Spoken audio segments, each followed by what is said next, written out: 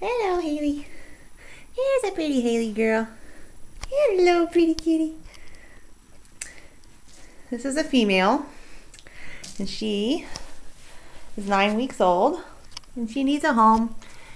Okay, Bebop, come here. Look at the camera. Bebop. There she is. Hi, pretty girl. Now let's see if I can go wake up the brothers and sister here.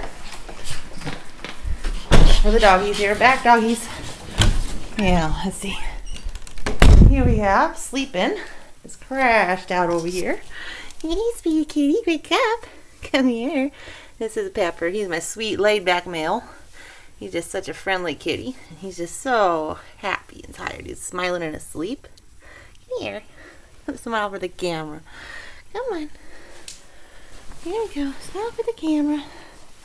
Come here. Pepper. Pepper. Come here, Pepper. Look up. There's a pretty Pepper. Yeah. And we have one more, if I could find her. Smokey! Smokey! Come here. And I might not be able to get her on camera today. She is sleeping under there with her mother.